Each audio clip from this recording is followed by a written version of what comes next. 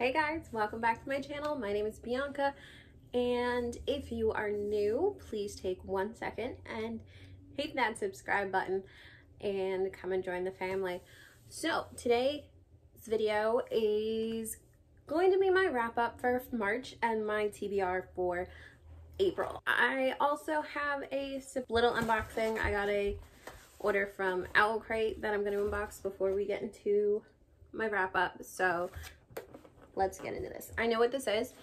I did order it. I don't have a subscription with Owl Crate. Um, I figured one book box subscription is good enough for me right now. So I just have my FairyLoot. But I have ordered a few things from Owl Crate and I have not been disappointed. So let's get into it.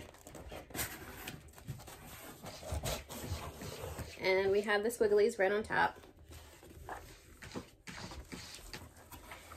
And then a gorgeous edition of Bonecrier's Dawn. I got this gorgeous signed edition of Bonecrier's Moon that was designed by Owlcrate. I got, they didn't get this off Owlcrate. I got this off like Mercari or something from somebody else. And they even sent it with the little author's note on the inside, but I knew I wanted to get a matching set for Bonecrier's Dawn. So that's what this is. Um, let's just cut this open. Oh, a hole right here.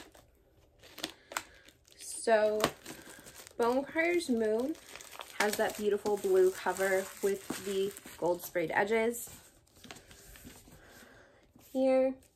And then we have Bonecrier's Dawn, which is this beautiful purple with the silver sprayed edges. So I definitely wanted to get the matching book, and this one is signed. If this one's signed. I would assume so, but yeah, this one's signed too. But because I got in this one, I knew I wanted to get the second book in the series. So I'm very happy that I now have both and they match. So that was the only thing I got out of this Owl Crate box.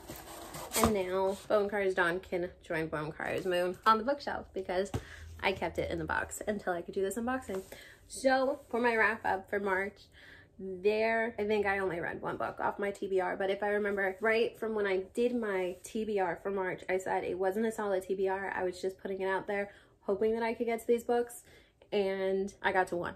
So, well, one and a half, but I started the other book this month as opposed to last month. Um, so the books I did want to get to in March or hope to get to in March but didn't quite get to were A Court of Thorns and Roses. I think I did start this. I got to page 72 so that's right towards the end of chapter 7. Um, and then I wanted to pick up a Court of Mist and Fury follow A Court of Thorns and Roses, but obviously didn't do that. And I also had Dangerous Alliance by Jennieke Cohen. I read the first like page or two and it did catch my interest, but I just, I didn't get to it. So it's definitely something I'm interested in. I do want to pick it up, but it did not happen last month. Um, the final book, well not the final book, but the final book that I did not finish in March that was on my TBR was Prepped by Bethany Mangle. I picked this up yesterday, which I'm filming this on April 3rd. So I picked this up yesterday on the 2nd. And so far I love it. I'm on page 122. So I am getting through it. I just didn't get to in March, but I did pick it up in April. So that was a good one. And the final book on my TBR that I did read was A Deal with the Elf King by Elise Kova. This was a good book. I enjoyed this book. I think I gave it four stars. It was definitely what I was looking for. It was just a fantasy romance. It was cute. I liked it. Um, so this follows Luella who discovers she's the human queen, which means she's a human that has powers. So she is set to marry the Elf King and save his land called Midscape. Um, there's this whole thing. They fall, they hate each other, then they fall in love. It's cute. I like it. Um, it is said to be inspired by Hades and Persephone or Beauty and the Beast, and I can see that. It's not like in your face, but I can definitely see that. Um, I definitely want to pick up more books by Elise Kova. This was recommended by Olivia Reads a Latte, so definitely want to pick up more by Elise Kova, and I look forward to seeing what she what else she has. So another book I read in March was I Am the Rage. This is by Dr. Martina McGowan. It is a book of poems. I gave this five stars. There's not enough that I can say about this. Um, I just found it very relevant. As a person of color, I just found all of these poems to really speak to something in me and it just, it made me feel understood.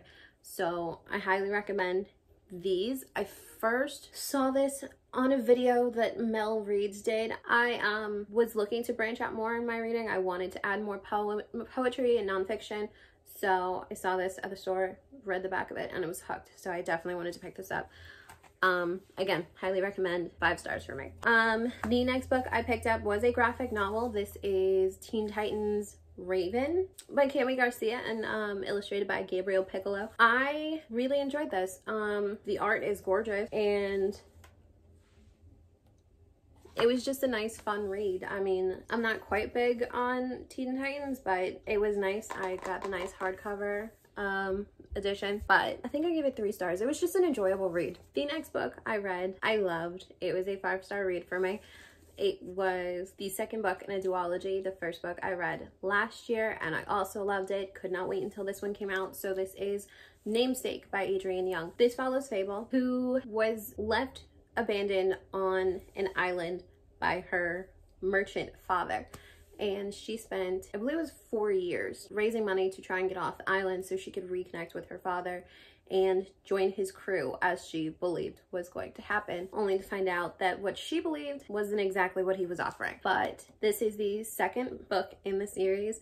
Um, don't want to go too far into it, so no spoilers. But um, so this one, in this one, Fable discovers a an unknown secret that she didn't know about her mother, who died in an accident on their ship. I read it in two days, and I think I only stopped because I had to get up early the next day.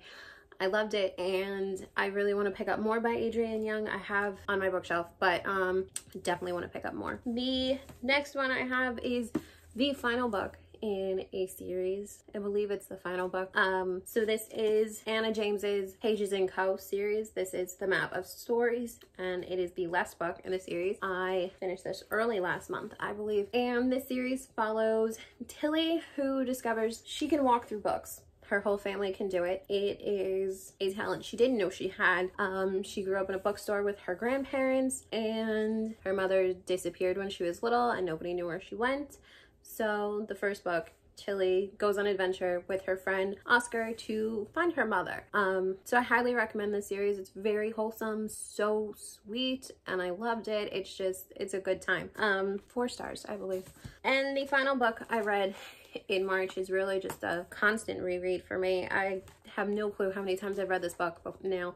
Um, so this is Magic in the Wind by Christina Feehan. This is just a old favorite of mine. I love this series. It's just the first book in the um, Drake Sisters series. And um, I wanted to reread the series, so I started with this one. Um, this follows Sarah, who is the oldest of seven sisters who live in Sea Haven, She is charged with protecting Damon, who is a big like brain, I guess, for the Justice Department or something. He thinks of security things, I guess. And she's set to protect him after he's attacked and kidnapped and tortured.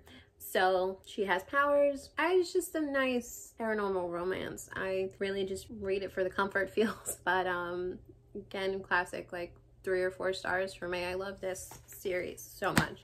And those were the books that I read in March, or as the case maybe didn't read, but those are done. Now we get to the books I want to read in April. So again, tentative TBR because I never seem to get through all the books on my TBR. Um, but I do want to finish Prep by Bethany Mangle. This follows Becca, who lives in a doomsday preppers colony, but she hates it and she cannot wait until she graduates high school, gets a scholarship, and can go to college. She is set to marry Roy Kang. This relationship has been set up by her parents. It is purely a survivalist relationship. They have no feelings for each other at all in the beginning um, until something drastic happens and she feels like her whole future has been derailed. And then Roy has a proposal for her that could possibly see both of them getting out of the colony. Um, I, like I said, I'm almost halfway through. I'm on page 122. Um, so far I'm loving it. It's a good read. Very interesting. The back of it says, protocol for surviving your doomsday neighbors. One, pretend that everything is fine. Two, get into a college out of the state. Three, persuade little sister that comic books are cooler than bunker protocols. Four, avoid falling for arranged boyfriend. Five, see number one. So I just, the cover is, looks like a real Doomsday Prepper's Guide. It was part of my most anticipated releases for this year. Cannot wait to finish it. The next book on my TBR is one that I have wanted to get to. It's been highly recommended by almost everybody I watch on BookTube. Um, so this is Legendborn by Tracy Deonn. I definitely want to pick this up. It's supposed to be like an Arthurian retelling or something like that. This follows this follows Bree Matthews, whose mother has died, and she's set to go to a residential program for bright high schoolers. And I believe it's on her first night there that she witnesses something not normal, something magical happened. Like, uh, I believe it was a battle against a demon. Um, and that just introduces her to a whole new world and powers she never knew she had. So I've heard great things. I believe this is a lighter, dark academia book, but definitely one that I wanted to pick up. Hopefully I can get to that this month. The next one is, I guess, a classic YA book. This is City of Bones by Cassandra Clare. I really want to get into her Shadowhunters series, so I figured I'd start here. Um, this is the first book in the Mortal Instruments. Um, I believe I'm gonna go in publishing order for the books, so I got this whole series in hardcover. Um, I think I've listened to this on audiobook and I don't remember remember any of it. It did not register, so I wanted to pick up the book. I did start watching the series and I found it interesting. Have no clue if they're anything alike, so we'll see how this works out. The next one is another highly recommended book that I've been trying to get through, not because it's hard to read, but because I just haven't picked it up. So this is House of Earth and Blood by Sarah J Maas. I have heard amazing things. I definitely want to pick this up. This follows Bryce, who I believe watches all of her friends get killed by a demon or a creature of some sort and she goes off on a revenge plan to find the creature that killed them. Um, that's really all I know. I definitely want to pick it up. I've heard amazing things. I did start it. I don't think I got more than a page in, but it caught my attention from the get-go. I just haven't picked it back up. The next book on my hope to get to this month TBR is the third book in the Bromance Book Club series. I have read the first two. Um, this is Crazy Stupid Romance. Uh, I love this series. Cannot wait to get into this one. This follows Alexis Carlisle, who has a cat cafe named Beans, and she's interested in a techie Noah Logan. Um, I really just wanted it because it had a cat on the front, and because I love the series. But what really drew me to it was the cat on the front. Um, I do have a cat, so anything with cats on it, I kind of love. Um, Cat Cafe. Very much looking forward to picking this up. I already have a bookmark in it, so that's one I want to get to. And then the last book, not the last book, but the last book that I'm going to put on this list is a reread. This is City of Ghosts by Victoria Schwab. This is the first book in the Cassidy Blake series. Cassidy Blake is a teenager. She has an accident. Now she can see ghosts. Her best friend Jacob is a ghost. And then when summer starts and she thinks she's going to finally have a break from all the ghosts she sees, her parents drop a bombshell on her. They are going to start filming a TV show. And this TV show is about ghosts.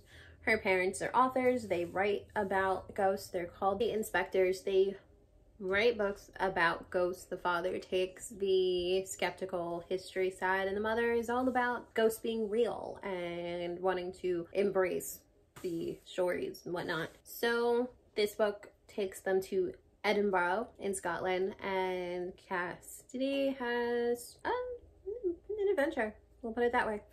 Um, her parents don't know she can see ghosts. It's a very good series. I'm reading this, rereading this, because I want to read the third book, Bridge of Souls. So I will finish this one, then go on to Tunnel of Bones and get to Bridge of Souls. That's it. So that's my wrap up for March and my TBR for April. Like I said, it's not a solid TBR. It's a I hope to get to it this month TBR, um, but we'll see how that goes. I will see you guys in my next video. I hope you have a good day or night wherever you are. Bye.